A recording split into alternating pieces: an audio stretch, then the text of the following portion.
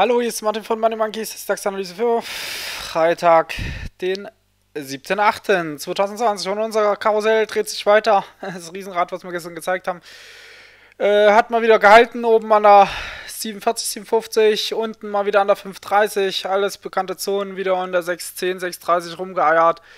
Und es dreht sich weiter, also es dreht sich zumindest im DAX noch weiter. Bei den Amerikanern sieht es ein bisschen anders aus. Da müssen Sie sich so vorstellen, hier löst sich ein Seil, da löst sich ein Seil und die fliegen einfach aus der Bahn. Schön nach oben. Also so brutal stark. Ich weiß, ich bin, ja, bin heute ein bisschen, weiß gar nicht, was ich so richtig mit Ihnen hier machen soll. Was ich Ihnen zeigen soll. Dieser dritte Tag in Folge, vierte Tag fast in Folge auf dem Niveau in etwa. Wir haben wieder einen extrem langen Docht von oben runter. Also, wenn, wenn ich es nicht besser wüsste, würde ich Ihnen sagen, der ist nicht positiv, der Chart. Also, das, das hat noch Risiko nach unten. Würde Ihnen sogar sagen, der DAX äh, hat hier noch Potenzial wegzukippen. Der DAX will runter. Aber die Amerikaner lassen ihn halt einfach nicht, ne? Die machen dort drüben so eine Party und Sause und neue Hochs und noch eins drauf und noch einer und einer geht noch, aber noch kommt einer noch da ist halt einfach nicht Schluss, ne? Und ähm, man, man merkt es immer wieder, der DAX legt sich schön unten vor und dann kommt wieder so eine Stunde nur nach oben gekloppt bei den Amerikanern, dann zieht es ihn hier leicht zurück. Auf jeden Fall Fakt ist, er kommt nicht mit, er kommt massiv nicht mit. Ähm, er kann schwächer ausleben, wenn die Amerikaner mal leicht nach unten kommen. Aber äh, auch so können sie, kann man fast die Uhr nachstellen. Ne? Vormittag immer eher ein bisschen schwächlicher Vorstellung, dann kommen die Amerikaner rein und alles zieht es wieder hoch. Aber auch hier ist er wieder deutlich zurückgekommen. Ich würde ihm jetzt deswegen nach unten eher mehr Chancen zusprechen, auch wenn es überhaupt nicht zum Gesamtmarktumfeld passt. Aber das ist für mich kein, also über was haben wir gestern gesprochen? Ne? Lassen Sie sich das einfach auf der Zunge zu gehen. Wir haben gesagt, ah, hier oben, wenn er drüber geht, dann kann er, dann, dann hackt er hier bestimmt nochmal dagegen, läuft aber zurück und geht dann raus. Ne, dass er hier rausgeht Richtung Gap, dass er hätte die 9 erreichen können. Er hat doch oben vorgeführt, da, war, er hat es nicht gepackt. Also das ist, das ist für mich ein Versagen. Auf der Unterseite haben wir gesagt, wenn er hier runterfällt, würde der Markt hier diese zweite Welle anspielen. Diese zweite Welle, diese druckvolle Aufwärts, diesen druckvollen Aufwärtsimpuls, den würde er hier unten zünden. Das heißt, er kann hier richtig wegknattern, er kann hier mit richtig fett Fahrt hier unten hochdrehen. Sehen Sie es? Nee, das ist ein Geschiebe zur Seite. Also, der hat jetzt die, die Niveaus schön genommen. Ne? Es ist im Endeffekt nur seitwärts gewesen. Aber das war ein Tag, an dem er eigentlich hätte nach oben glänzen können. Und zwar in mehreren Szenarien, die alle beide nicht bedient hat. Von daher ist er eigentlich in meinen Augen schwächer als erwartet gewesen. Und ähm, so würde ich das jetzt auch auslegen, auch wenn der Tagesschuss ein bisschen höher ist als vorher. Ich würde denken, der gibt uns weg zum Freitag. Ich könnte mir vorstellen, dass wir hier einfach noch ein bisschen zur Seite rumschwüben, schieben und hinten raus wegkippen. So, das passt nicht zu den Amerikanern, muss ich auch sagen. Ich, ah, ich, ich weiß nicht, was ich ihnen zeigen soll. Ich weiß auch nicht, was ich ihnen mit ihnen machen soll hier. Das ist, das ist so gegensätzlich. Also ich sehe im DAX die Schwäche und ich sehe in den Amerikanern die absolute Stärke und das wird nicht funktionieren. Also bin echt ein bisschen ideenlos, was wir hier draus machen. Wirklich. Keine Idee. Also ideal, typisch wäre Freitag hier einfach ein bisschen zur Seite rum und hinten raus dann abkippen. Ja, also irgendwie so eine Art. Ich mache mal sowas hier. So so ein bisschen hin und her geschache einfach. Ja, vielleicht hier leicht runter. So. So. Dann wieder hoch. Dann wieder hier so irgendwie ein bisschen zurück. Halt einfach Geschiebe und dass es sich dann hinten raus hier ein bisschen wegpurzeln lässt. Das wäre jetzt so meine Erwartungshaltung. Das würde ganz gut auf den Freitag passen. Aber ganz ehrlich, mich würde es auch nicht wundern, wenn einfach oben rauszerren halt. Ne? Wenn sie richtig oben rauszerren. So, das wäre jetzt so ein bisschen meine Erwartungshaltung für den Freitag, dass man hier oben vielleicht nochmal so ein Stößchen macht auf die 700, 710, 720 zurückrudert, wieder zurückrudert, wieder an der 600 Chart und dass er dann zum Nachmittag, vielleicht kommen da kommen wir Gewinnmitnahmen bei den Amerikanern. Ich, ich würde nicht drauf spekulieren dort.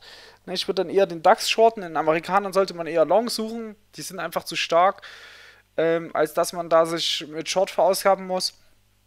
Und, aber im DAX ist, dem, dem fehlt das noch ein bisschen an Schwäche. Oben würde ich jetzt schon sagen, können wir einen Long Trigger aber ein bisschen tiefer ziehen. Den können wir durchaus jetzt im Bereich um 47 platzieren. Sollte der DAX über die 47 gehen. Und auch das ist nicht so unwahrscheinlich, ja, zum Freitag. Also wenn das macht, dann wird das durchziehen jetzt. Ich glaube, zum Wochenschluss macht das dann. Dann, dann macht er jetzt das, womit die meisten nicht gerechnet haben. Man hat, ich, ich habe bisschen habe es schon im Donnerstag vermutet.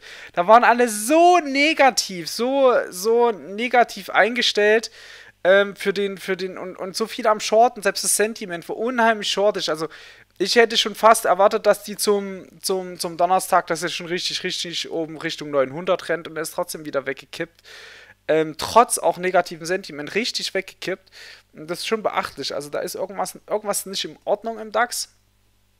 Und deswegen äh, würde ich ihn hier nach unten noch anzählen. Aber ich würde auch denken, wenn er jetzt Richtung Freitag, also Freitage, die können halt auch schon durchziehen. Ne? Wenn er gerade so, wenn er so schwungvoll reinstartet und nach oben durchzieht, ähm, die Freitage, die können bis zum Tagesende wirklich den Spaß durchziehen, den sie anfangen. Also gerade wenn er nach oben läuft, ein Freitag auf Long-Seite ähm, ist, ist für die, die Short suchen, extremst hardcore ins Gesicht. Weil der läuft dann so ganz langsam und so, er zuckt immer wieder nach unten, dann zieht er sich wieder hoch, dann zuckt er wieder nach unten. Man denkt, ah, jetzt fällt er, aber dann läuft er wieder hoch, dann denkt man, ah, jetzt fällt er. Und dann dreht er wieder hoch. Und im Endeffekt denkt man sich am Tagesende dann, Mensch, der Tag hätte so einfach sein können, einfach long rein und bis zum Ende raus das sind, das sind sehr, sehr typische Freitage auch halt, ne? In dem Moment, wo, wo es auf der Long-Seite viel Action gibt am Freitag. Das passiert nicht oft am Freitag, aber wenn das so kommt, ähm, und da sollte man insbesondere oberhalb von 700 dann eben mit aufpassen, kann das bis zum Tagesende durchziehen. Also da muss man sich nicht verausgaben dann auf der Shortseite, besser gleich einen Zettel an den Bildschirm machen, wenn der DAX über 700 ist, nicht auf der Shortseite verausgaben, das, ist, das wird wichtig. Was aber noch typischer ist als diese Long-Tage zum Freitag, ist dieses Geschiebe über den Vormittag, über den Nachmittag und dann das Weggekippe zum Abend rein halt. Ne? Das sieht man auch recht häufig. Und deswegen würde ich das jetzt erstmal favorisieren, aber bin schon, muss ich sagen, ein bisschen ideenlos, ähm, weil das einfach zu viel Geschiebe ist hier, zu viel seitwärts. Und vor allen Dingen, weil ich ihn nach unten sehe, aber das Gesamtmarktumfeld nicht dazu passt halt. Ne? Und äh, wie, wie soll der DAX 200, 300 Punkte fallen, äh, wenn die Amerikaner von einem hoch zum nächsten springen? Es funktioniert ja nicht. Ne? Da müssten die Amerikaner drüben mitmachen. Und dafür haben wir dort halt einfach noch keine Signale, weil die äh, straffe Kerzen nach oben stellen und äh, richtig straffe Kerzen nach oben halt. Ne? Also da ist alles grün, was, was grün zu gehen geht. Das ist einfach so. Gut, Freunde, dann äh, ich belasse es dabei. Achten Sie mir ein bisschen auf den Bereich um die 700er. Alles, was da drüber geht, 700, 47 drüber, muss man sich auf der Long-Seite ein bisschen öffnen. Gegebenenfalls auch mitgehen. Ähm, wie bei den Amerikanern letztendlich. Da machen sie auch nicht glücklich, wenn sie da die ganze Zeit Short suchen. Ne? am besten noch Short ausbauen im Minus und sowas. Also da können sie sich gleich die Kugel geben. Ähm, das sind so Sachen, die äh, geht halt einfach nicht immer gut. Ne? Oder geht halt oft, sehr oft nicht gut. Gut, Freunde. Also, das soweit von meiner Seite. Meine Ideen, meine Gedanken. Tageschart können wir nochmal kurz gucken. Da haben wir kurz gesprochen, aber das würde ich jetzt hier so zumachen. Und das sehen Sie, was ich angesprochen habe, dieser lange Docht oben. Wieder vom mittleren Bollinger Band weg. Ist für mich halt schon ein deutliches Abdrehen halt. Also, ne, gucken Sie, der kam hier, der kam mit einer Kerze hier runter. Und jetzt hat er 1, 2, 3, 4, 5 Kerzen gebraucht, um diese Kerze auszukonsolidieren. Und er hat es immer noch nicht hingekriegt. Er hat es immer noch nicht hingekriegt, dieses hoch rauszunehmen. Also diese Kerze zu überwinden. Und wird immer wieder vom mittleren Band weggetreten. Und das ist für mich eher mehr so ein Signal, wie ich will zum unteren Band. Und das untere Band liegt hier im Bereich um 370. Na, also, hm. Tageschart für mich auch nicht unbedingt positiv. Auch wenn es eine grüne Kerze ist, aber es ist ein Doji. Es ist, äh, kann man noch einen Popgun rauslesen. Ähm, die gibt dann entweder hier oben das Signal Richtung hier oder unten das Signal Richtung hier. Es ist halt, also es ist gerade nicht schön. da gibt es idealere Ausgangspunkte für einen Tag. Passt auch eigentlich zum Freitag. Freitage sind oft ein bisschen widerlich. Die nehmen auch bei vielen die Wochengewinne wieder weg.